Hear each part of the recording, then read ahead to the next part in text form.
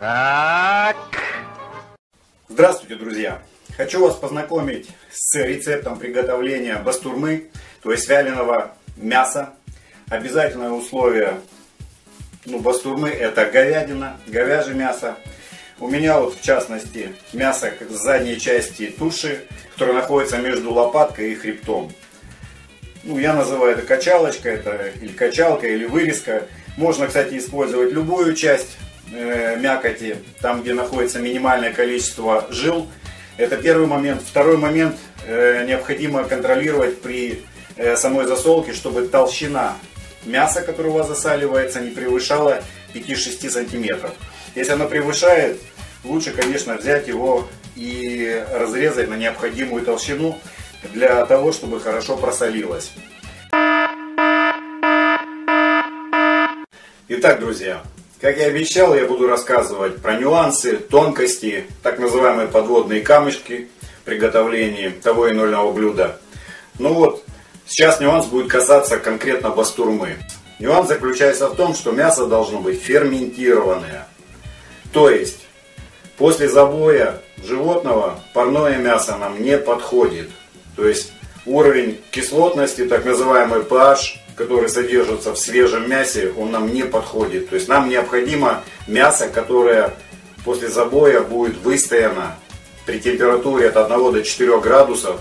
Минимальное количество времени это одни сутки. То есть поэтому, если вы не уверены в магазине, том, котором вы берете в своем мясе, я вам рекомендую взять в холодильнике герметичной упаковочке, подержать свое мясо сутки. Так, что мы делаем дальше?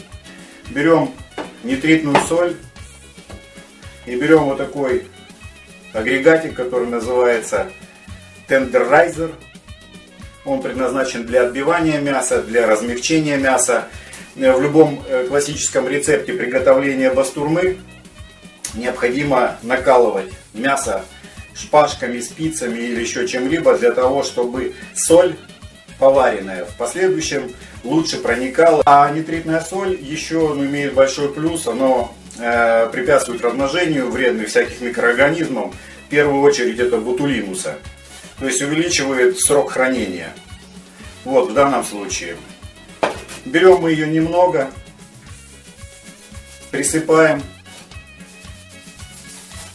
втираем переворачиваем. С обратной стороны делаем то же самое.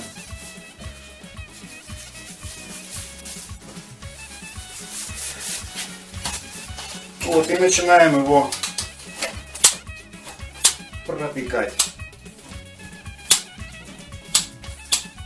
Переворачиваем, с обратной стороны делаем то же самое.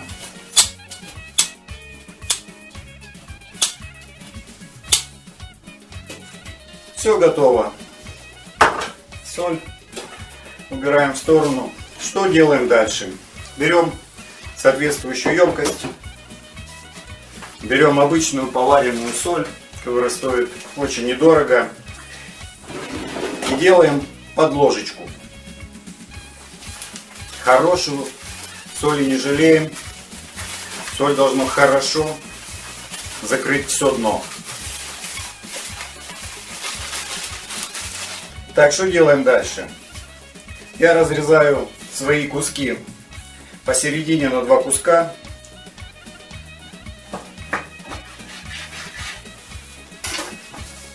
И выкладываю в емкость.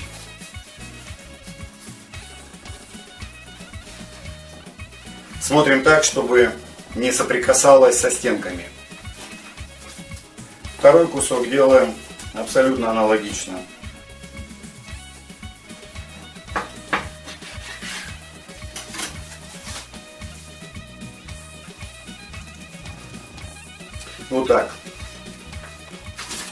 Смотрите, у меня остались зазоры между ними.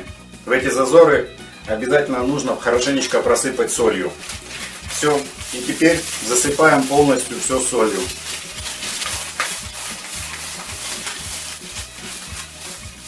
Итак, соль мы это засыпали полностью.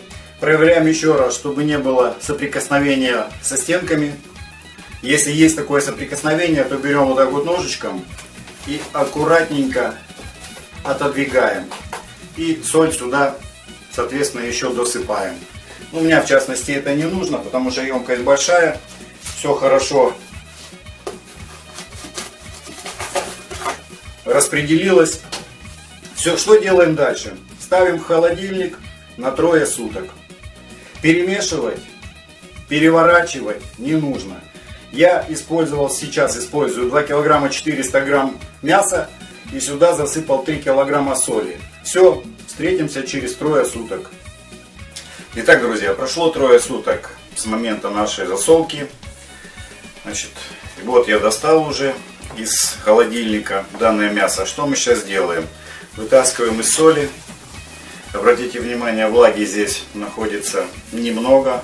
То есть количество соли вполне достаточно для того, чтобы эту влагу всю вытащить. Вот очищаем от основной соли. Перекладываем в емкость. Вот она уже поменяла цвета, стала более, более темная, стала более твердая.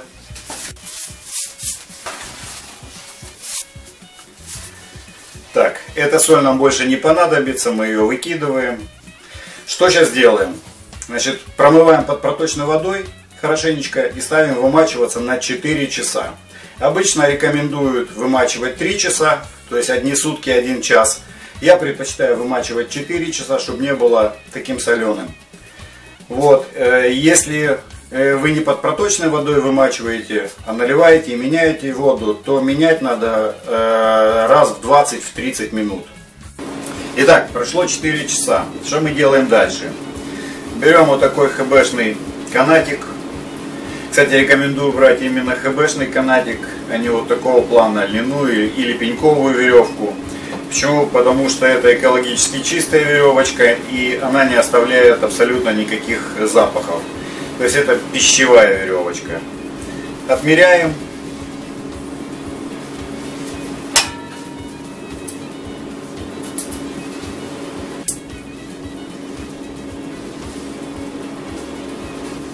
Берем вот такую спицу и продеваем этот канатик в мясо.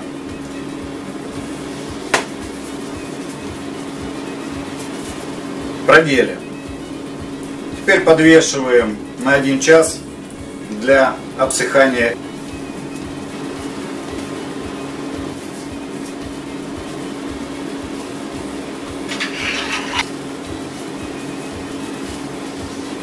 Нитку продеваем с толстой стороны.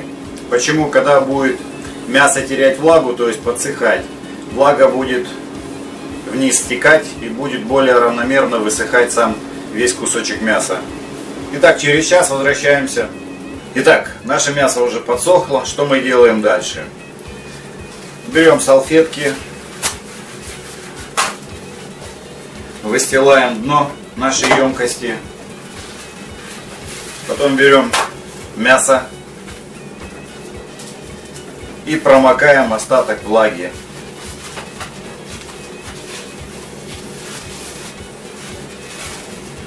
После этого выкладываем в емкость.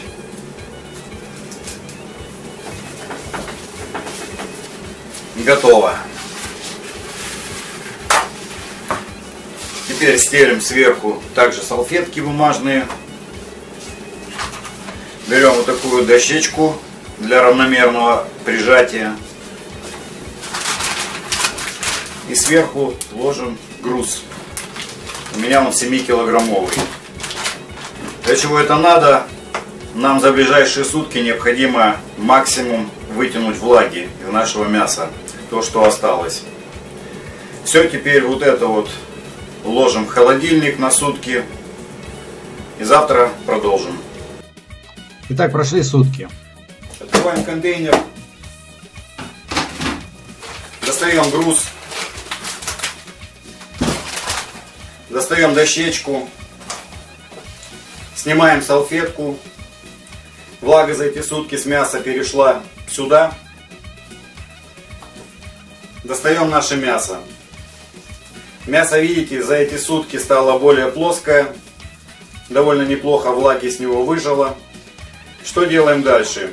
Берем и подвешиваем на крючках в теплом, сухом, проветриваем помещении. Зимой это можно использовать кухню, летом можно использовать балкон закрытый. Но главное условие надо помнить, чтобы не было прямых солнечных лучей.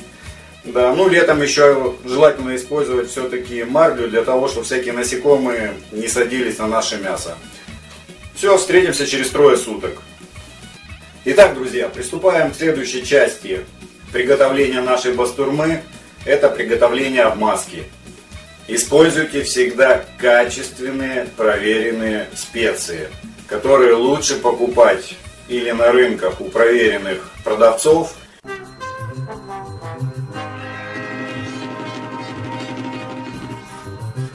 или в хороших качественных интернет-магазинах. Э, крайне не рекомендую использовать специи, купленные в обычных супермаркетах. Э, у меня лично было несколько таких печальных опытов, когда приходилось после всего брать, сошкрябывать свою обмазку и идти на базар, покупать нормальные специи и потом делать по-новому. Итак, приступаем к приготовлению состава обмазки. Что нам для этого нужно? Значит, я говорить буду пропорцию на 1 килограмм мяса. У меня, в частности, сейчас будет обрабатываться 2 килограмма мяса, поэтому будем пропорцию умножать э, сразу на 2. Значит, что нам для этого необходимо? На 1 килограмм мяса. Пол чайной ложки зиры.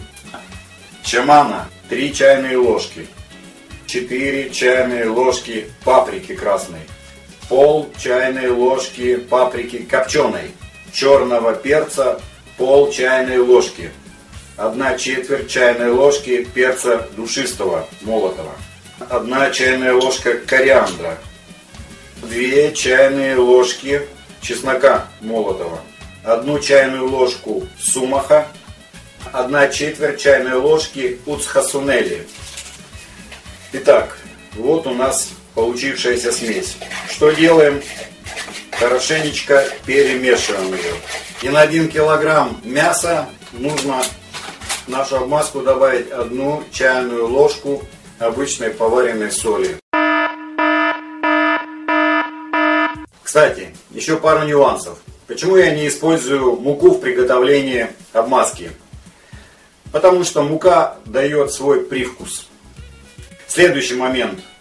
Соль. Почему мы сюда добавляем?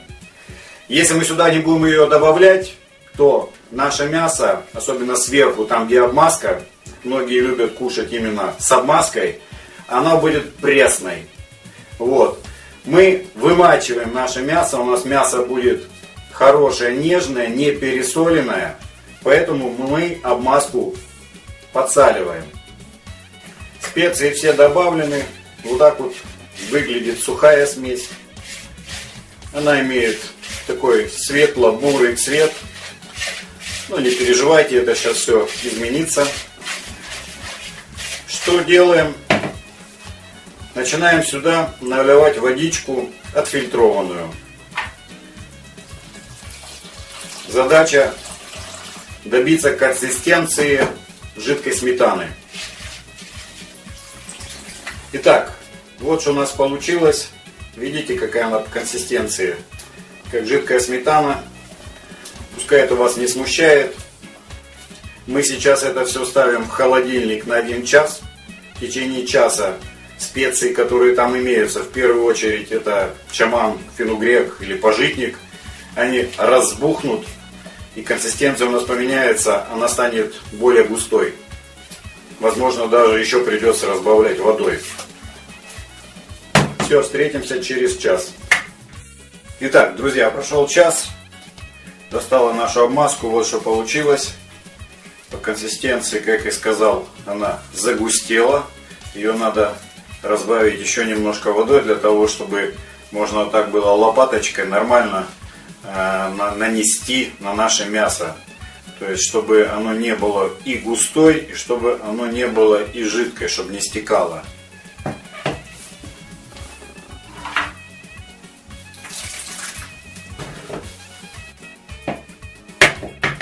Итак, готово. Вот она такая по консистенции. Напоминает густую сметану. То есть оно будет и хорошо мазаться, но одновременно не будет отставать и не будет стекать э, с нашего мяса. Ну что, берем мясо и приступаем к обмазке. Вот такое мясо получилось после трех дней завялки. Оно такое темно-бордового цвета, весьма эластичное, довольно-таки упругое и тверденькое. Все, приступаем по очереди.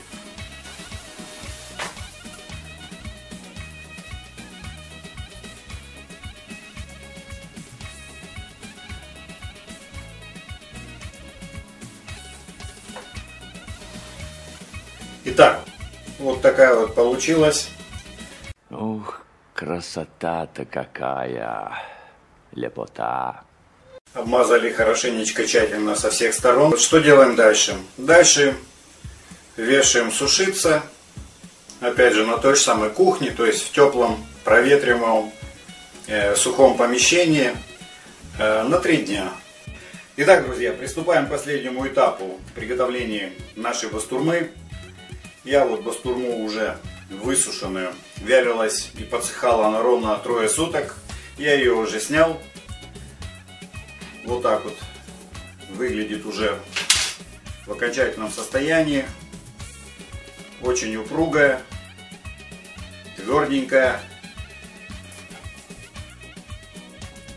Что делаем дальше? Срезаем вот эти веревочки. Значит, берем наш вакууматор. У кого нет вакууматора, можно использовать обычные zip, к примеру, пакеты. Или хорошие плотные там полиэтиленовые кульки.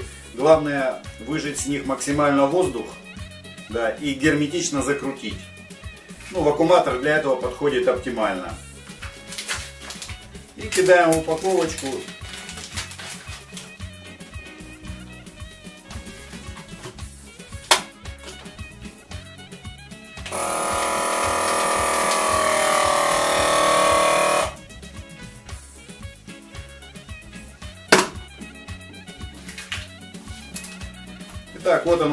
оно загерметизировалось. Так вот оно выглядит. Что мы сейчас делаем? Мы сейчас это все уложим в холодильник хотя бы на двое-трое суток для того, чтобы в мясе снять закалку, так называемую. Что такое закалка? Закалка, если вот сейчас мы ее разрежем, увидим, что верхние слои мяса наиболее сухие, а внутри более влажные. То есть закалка в вакууме или в герметичной упаковке в холодильнике в течение нескольких суток позволяет нам убрать эту закалку. То есть мясо равномерно становится мягким, то есть влага равномерно расходится по всему мясу, специи равномерно проникают во все мясо. Все ложим сейчас в холодильник и встретимся через пару суток. Итак, друзья, прошло трое суток с момента нахождения нашей бастурмы в вакууме в холодильнике. Теперь пришло самое время это все попробовать.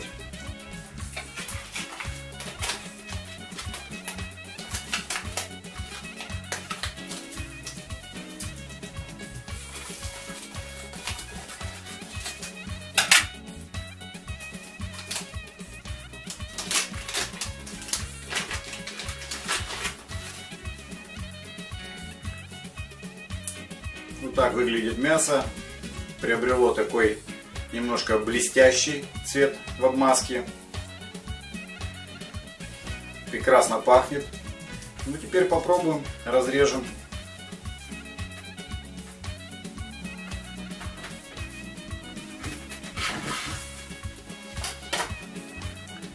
Вот так вот оно выглядит на разрезе.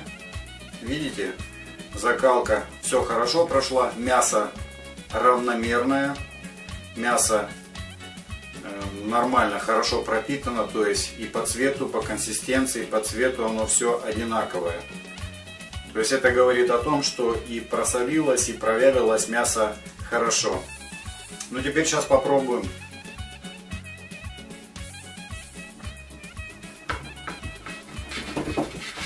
Нарезаем тоненько. так вот выглядит оно.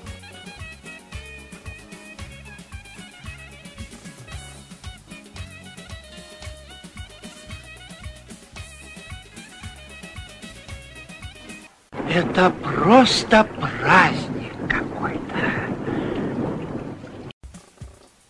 Отличное мясо, хорошо провяленное, специи самый раз, то есть нету преобладания какой-либо специи, то есть все они чувствуются, и острота чувствуется, и насыщенная специями. Э, мясо получилось, я вам скажу, такое не соленое. То есть его можно есть даже не только к пиву, а и просто так вот грызть бутерброды или перекусы. Я знаю, некоторые даже с кофе его э, с утра употребляют. Еще, друзья, маленький нюанс по поводу хранения. Значит, хранить в такой вакуумной упаковке в холодильнике можно полгода, если в морозильной камере можно хранить один год. Э, и одно слово по поводу выстаивания в вакууме. Я вам скажу, что по собственному опыту исходя, у меня самая вкусная и самая ароматная бастурма была та, которая в холодильнике в вакууме у меня где-то пролежала месяца полтора примерно. То есть там вообще была бомба. Поэтому по возможности давайте выстояться. Три дня это минимальное количество. По возможности давайте выстояться и больше. То есть чем оно будет больше выстояно в холодильнике, тем оно будет вкуснее и ароматнее. Спасибо за внимание. Кому понравилось, ставьте лайк, подписывайтесь на мой канал. Пока.